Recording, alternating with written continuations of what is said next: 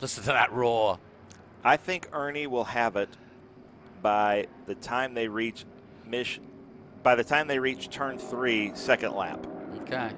Well, that's a better bet, actually. A more interesting bet, shall I say. He's got one already. He's ahead of the number six of Frank Chopatini. Chopatini. Chopatini. All right, then, get ready for the green flag. Group 10 about to get underway for their second race of the weekend. And away they go. NASCAR roars. Porsche roars. Randy Walker in third. They all spread out. Where's Ernie going to pop out? I Ernie wonder? Francis just being patient. Yeah, into the first corner they go. And into third goes the number 15. Ike Keeler in that Bud Moore livery, tribute livery. Now this is where uh, it all went wrong for Ernie earlier today. yeah, So Ernie's he's picked up one spot. Biden is time here. Joe Biden is time. Yep, he's one spot up into th- into the turn three, and looking to try and make another move. But the field's starting to spread out, so he's going to have to get a hurry on. Jeff Rocco not in any mood in the Pontiac Grand Prix to Yeah. slow down. Down towards the Cube 3 turn 7 hairpin. Under braking. This is where the NASCARs, if you will, have a bit of a disadvantage. The heavier, not as good a brakes as the more nimble Porsches. But this, you know, we say this every time, but that is the era that I liked, where the NASCAR cars actually look like the cars that they were based on. Like that looks like a Pontiac Grand Prix. Soon after that, they started looking like, you know, uh, they resembled the cars that they're based on. Silhouette, as we call Yeah. it. Yes. No, I know. I, I, I- I, share your interest in them looking. I, I like the Gen 3 car. I like the fact that it's just a little bit more Yeah. racier. Yeah, And actually does look a bit more like the Yeah, it does. Car. I now, think here it- comes Ernie. they got that right. Now, by the way, this is one of Ernie's uh, championship winning cars. Now, he's been away from um, Trans Am for two years now. He's been doing Indy Next. Uh, he's still a youngster, remember, but seven titles in all, four uh, consecutively in uh, Trans Am. That's, of course, what Chris Dyson is chasing this year, but he's not made it easy for himself in the first round. So it's great to see Ernie in his championship winning TA car. Put on a hell of a show back in the day. Down the back straight, roaring, making a beautiful sound, even echoing through our commentary box here. Sounds But- like an airplane landing. It is Cup car versus Cup car because I think that car ahead would have been a Winston Cup car. It looks like the era that Winston was still the main sponsor of NASCAR. So that's a Cup car versus a Porsche Cup car. Yeah. Yeah. Yeah, that's a 992 GT3. What's the difference between a 991 GT2, 3GT3, and a, a 992 GT3? You know? Well, they're different numbers. Thank you. That's brilliant. you know, I can see why we That's got what. I know. Yeah, that's my expertise. Yeah. one's bigger than the other. Thanks very much. Yeah, I don't know. I, Thanks I- for playing. They all look, to, to be honest, and I know I'm going to get criticized for this, but they all look the same to me. Yeah. Oh. I know that I'm about to. You're going straight to hell for that one. Up. Oh man. Less you know, than a I'm second for it. between Rocco and Wick, though, at the front, which is good. And then a bit of a gap to Walker in third. Keeler still fourth, and there's a good battle going on for third and fourth. Ernie Francis is up to fifth. Where did you say he would be by the I end thought of he would be buying by now, but he's actually being pretty patient.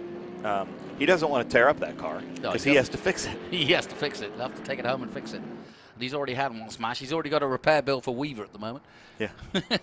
Actually, he won't be paying that, I don't think. But look at him go. He is scything his way, as he always did, through the field. We've seen Ernie do this when he was back in the know, but- day. But, look at this. All of the IndyCar paddock is here. yeah. Ernie Francis was just in IndyCar, Yeah, you know, yeah. in that family. So maybe this is a little bit like, hey, Hey, guys, don't forget me. check this out. Well, I heard this morning that he did get a late offer from Indy Next to be in the championship this year, but he'd already signed up Yeah. with Trofeo, so he may find and squeeze in some Indy Next uh, races in he his needs schedule. to because you, the talent is one thing. yeah, but the personality, the work ethic, the person that he is. If I were a team owner, he fits every every check mark in there. Well, I, I, I pray for the day when he gets picked up by a big IMSA team because look at IMSA because he will he will absolutely do the 12 hours, the 24 hours. He'll do Le Mans, he'll do IMSA, and before you know where you are, he'll be doing WEC because he's that good a driver. And he's what 24? Yeah, looks like he's going to be a lap later than I had predicted. Well, there's your $100 gone, but he's already passed another man as they cross the line. Ernie up to second place now and chasing the leader. It's now NASCAR versus Trans Am. Pontiac versus Ford versus Porsche. like yeah, as is always here. Yeah. Look at Ernie. Oh, gosh. He's going to make it before turn three, is he? Yep, under braking. Ernie See, Francis Jr. I was a lap See ya. late. Lap late. I'm sorry, but your $100 stays in your pocket. Yeah, that imaginary $100, it Yeah. does.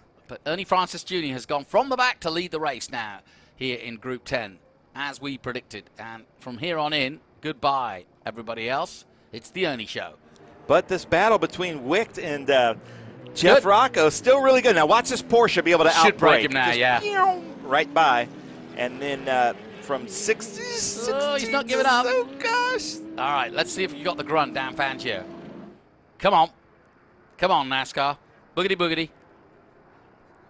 You got to wonder if Rusty Wallace ever comes across these clips and just thinks, you know, it's so cool to see these old car? cars. Yeah. Because you don't, you know, as a driver, you don't want them to just waste away in a museum. you museum. certainly don't. You'd love you want to see them out out there. on track. and, yeah. you, and, you know, I bet you Rusty Wallace is like, I'd like to drive that thing around Oh, I'm sure with uh, social media the way it is, he probably gets Instagrams of this car every weekend. Yeah, I'm sure he's got. I'm sure he's been texted. Yeah. Your car's racing right now. Where you are you? Check it out. Are Yeah. you are you in it? That's probably what people say. Were you at so last week? now we will have some legends with us in July at Lime Rock, the Speed Tour All Star Race, and we have some huge names. Come like, on.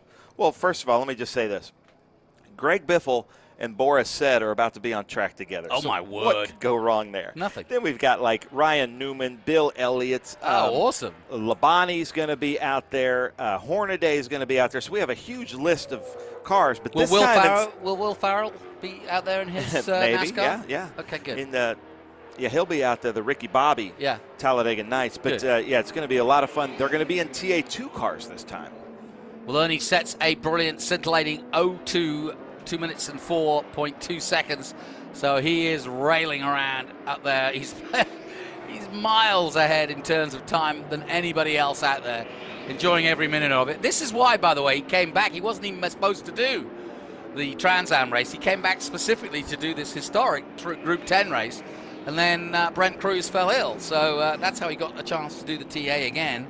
Uh, didn't come to anything, but he did get the pole, the fastest lap Yeah. he's ever done here, a 58.4 around here. Wow. Pretty impressive. There's Dave Ricci. We saw Frank Ciopatini through there. And there is the 110 of Tom McGlynn. Youngblood Wheels. What is Youngblood Wheels? That's his wheel company. He was a, a partner and a supporter of us last year, and uh, we got to go to his factory just uh, south of Sonoma. And there's the Fraziers. We haven't seen much of the, the those two cars, but Scott the Casey Rick. Kahne car and the Hooters car. Oh Like man, he told me yesterday who would have driven the Hooters car back in the day. He told me, and I can't remember now. They had a pair of drivers, didn't they? That's the best one this weekend. And there it goes. Uh, that's well, I, in the I house. thought you took it endurance racing. yeah, yeah, exactly. Okay, yeah. But um, come on, comment people. Who was in that car? And Robert Ness says, "He ain't first, you're last." So yeah, he liked first your Ricky last. Bobby he liked my comment. Rocky Bobby comment. Good. A few years ago, uh, we rented out Rockingham and did an SVRA event at Rockingham, and we reenacted uh, with one of our drivers, uh, Ron Branham, stripped down to his underwear, got out of the car, Oh, no. and said he was on fire. and I have it all on video. I'm going to have to share it. that to our social channels as we zoom in here on Frank Ciopatini. yeah, he's had a good run. He's sixth place at the moment, chasing down Ike Keeler. Dave Ricci up to seventh. He's gone forward. Alan Kulwicki, that's who it was in the hit Hooters car. Who wins that one? That is Brandon Temple wins the congratulations Alan from us. Kulwicki, yeah. Yeah. Good call. And like a true NASCAR fan, Brandon Temple didn't spell his name right. Well, Alan everybody else seems to remember who But drove I- the Hooters car, except us. Yeah, I guess so. There we go. He was the owner driver. But- Brett Bodine drove this particular car. Wow, look, our audience is on it. They are. I love it. See? We've got experts everywhere, and we absolutely love that. There's that Dave Ricci Camaro. Beautiful car. Yeah, breathless prepared, and that means it's a Francis family Did you see affair. all the Corvairs? All the Corvairs were Ernie Francis's too. Yeah, I- I love that Monza station wagon in the paddock. and he's just done another two. He's just flying. 2040 this time. Here comes uh, Casey Kahne. I do apologize for that. We had a lot of experts here on the comment chat. I really did think that was Bill Elliott car, but you guys were correct. So feel free to correct us whenever we get it wrong. We do like to get things right. Jonathan told me it was Casey Kahne, and I told him no, it was Bill Elliott. So I apologize for that. It's all right. You're forgiven. So Ernie Francis has extended his lead to almost 20 seconds now in the time that uh, he got into the lead from the back. And he's still got time to extend it further. Just enjoying the sunshine of Florida. Ernie Francis Jr., welcome back to the Trans Am paddock. It's great to have him. It was so cool to have him in the paddock and get to interview him one last time on the grid, you know, mm -hmm. after he's been gone for two years and, and doing so well in his career. Yeah, I've been watching him in Indy Next. He's not had the best of times, but it's never easy. I mean, I, you know, it's it, that's the rough and tumble. That's the hard, one of the hardest championships in the world, eh, in my mind. And uh, you know, he, he never really thought about being an open wheel no. driver. He his path, he really always wanted to be a sports car driver. Yep. Yeah, not a, not never looked towards stock cars per se. Did Trans Am was surprised by how well he did in Trans Am, and then he ran an Xfinity race though at Road America yes, did, did pretty well. Yeah. But here they come. Look at this battle here. Alan Davis and Alan Kulwicki. With a pair of ones on the side of it. So that's the Alan Kulwicki car, and the Fraziers are usually in green midget Spridget cars with us, Group 1 cars. So I told him, I was like, you couldn't have gone to a more different car. You know, they went from a light, low horsepower car to a way too much horsepower, way too much weight, no brakes car. Mm-hmm.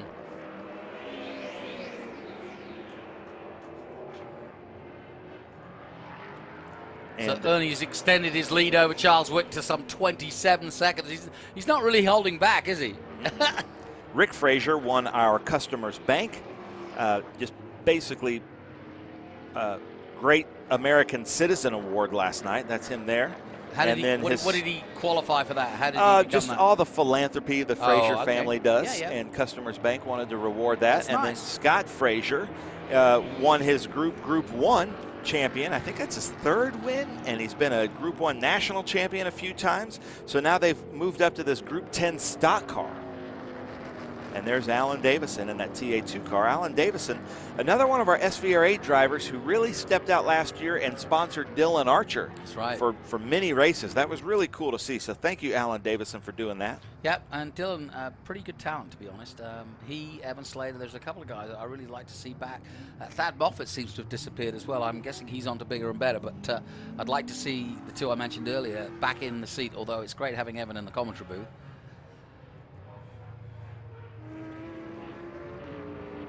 So we're getting down to the closing stages of this. Ernie Francis Jr. has made it a cakewalk, as they say here in the US of A. So Ike Keeler got around that Camaro. White flag will be out for Ernie in a moment. And this is a good little battle between these two.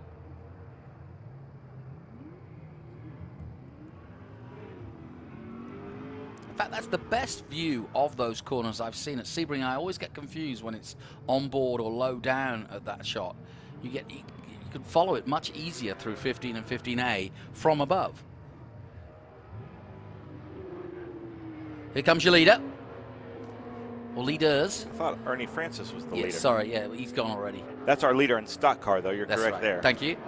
Thank you for uh, holding me up. I love the font of those numbers there. You like that?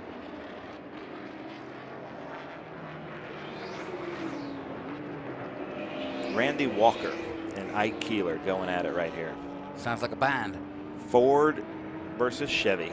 35 seconds now over Wicht in second place. Rocco uh, some seven seconds off third place, and through goes the 03 of Walker in fifth. There's a slight delineation. So Ike Keeler is in a TA2 car. I don't think Randy Walker is technically in a TA2 car. I don't know what the delineation is, but there's something in that car that makes it not a TA2 car. Okay. And then there's our Cup car. the Porsche Cup car. There's our Cup, Cup car. Back in the day when the drivers would get out and you could barely understand them, you know, they'd be like, oh man, that SLB cut me off in the turn four. I like those days of NASCAR. Where are you from, Tennessee? Yeah, I am from Tennessee. And I had trouble understanding some of the NASCAR drivers, like Ward Burton. Whew. They'd have to put like closed captioning to interview him after a race. I used to do the I used to do the Daytona 5 uh, 100 for Channel 5 in the UK. Boy, that was fun. trying, trying to explain what was going on. Yeah. Yes, they're turning left and left again. So we're getting to the closing stages. Ernie Francis Jr. absolutely in the zone in the 98, 98 excuse me, A. That is his Ford Mustang of yesteryear. I bet he's enjoying being reunited with the old girl, to be honest. I think that's. He hasn't had much to enjoy. He was really enjoying that Dodge Challenger until he got taken out. Out of the mist comes that Porsche. Is Ernie still out there? I haven't seen him in a while. Yeah, he's, he's just gone. He's so far ahead. Jeff Rocco, though, man, really great talent. That's a difficult car to drive. Yeah, I can imagine. At Sebring. And, um, you know, before I say anything, John, before I jinx this, I just want to point out we haven't had a double yellow in any of the SVRA races this weekend. Oh, you've done it now, you? No, you're absolutely right, though. Some no, good, clean racing to start the racing. season. Yeah, exactly. I love it. Good job, SVRA races. Uh, oh, deserves. pass here. Randy Walker over Ike Keeler. Yeah, he did. Randy Walker moves up to fourth Ike place. Keeler's fallen back. Not sure what's happening there. Well, he's been chasing him the last two laps. He's finally got by.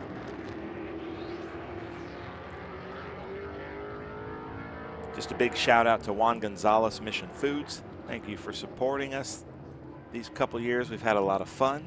We've got the Mission Foods Laguna Seca Speed Tour coming up here soon.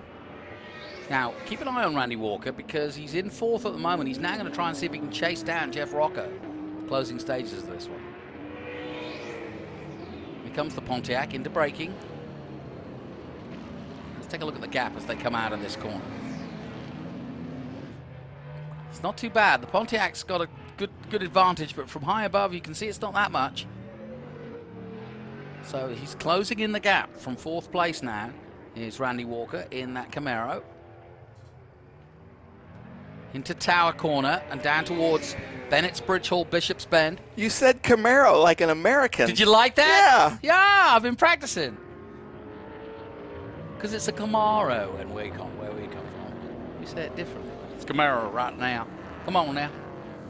Oh, what a mistake! He was pushing a little too hard, was the 15 of Ike Keeler. And he's gathered it all together. But uh, bit of a moment there for Ike.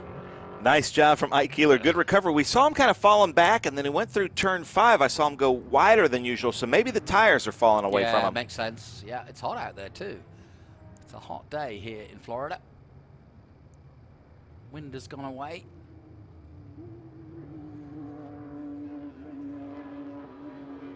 I, I think Rocco's going to be able to take it here. Yeah, he's, he's certainly caught up enough. We'll check the gap between them coming into the next lap. Ciopatini. Frank Ciopatini. I like that era of the Camaro. You do? Yeah, I do. Because I think that was kind of like, you know, I was high school age ish. Well, you, yeah, but you were, what, you were high school for like 15 years, weren't you? Yeah. Still no degree. Still no degree.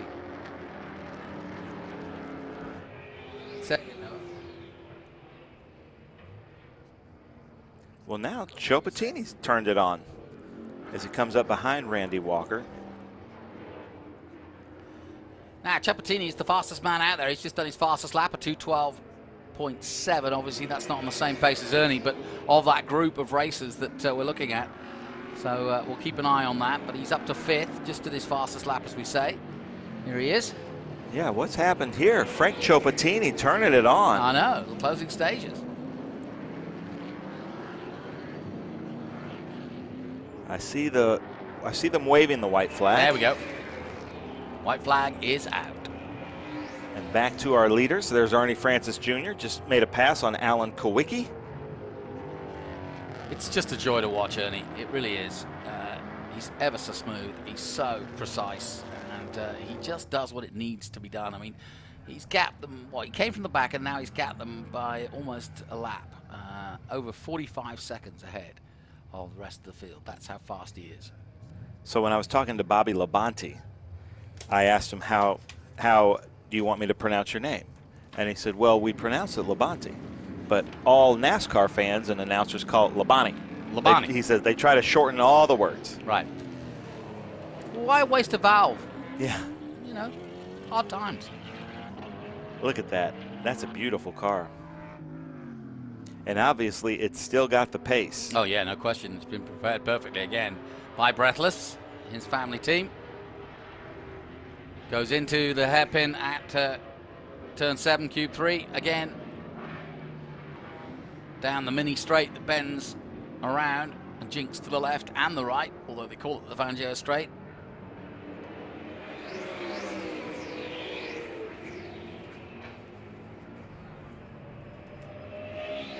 Then the home run down through this next complex here, past the Bennett's Bridge Hall, Bishop's Bend, and into 15A, then 16, and then that long run down to the final corner. Let's celebrate with one of our great champions, seven times Trans Am champion, not taken part in SVRA. Look at that TA2 TA car. That was a great representation of the Yeah. differences of the cars. No kidding. And Ernie Francis Jr. from Jupiter, Florida, coming out of the last corner. And we'll see the checkered flag for the umpteenth time here at Sebring and win in SVRA as he has done so many times before in Trans Am. Well done, Ernie. It's cool to hear you say Ernie Francis Jr. takes the checkered flag again. Yeah. Yeah, I was very lucky to come into Trans Am just when he was at the height of his powers, and uh, he was a phenom. Yes. I missed his uh, GT stroke production car day wins, but he, he must have been GT GT champion. Then what was it, TA3? Yeah, I think TA3, maybe TA4 the first time That's back right. then. Yep. Because he got seven in total and four consecutive TA titles. Well, plane landing. And Charles Wicht coming out of the heat haze and still hasn't finished the race in second place yet. Here he comes. And he's not going slow, folks. So Charles Vick, Wick in that 992 GT3 Cup car comes out of the Mission Foods Sunset corner for the last time to take the checkered flag and take second place. Seemed a long time coming, but he'll take it. And Jeff Rocco will shortly be crossing the line again in that uh, black Pontiac Grand Prix car to take third. And actually, Frank Chopatino got ahead Whoa. and got third. Well done. Well, we said he was going What? quick at the end there. Yeah, yeah. he, he beat Jeff Rocco right at the end. Amazing. Great stuff. So Frank Chopatino takes the Camaro to Wait, hold on. We got to get it right. Chopatini. That's it, Chopatini. Excuse me. Well, that was an interesting race,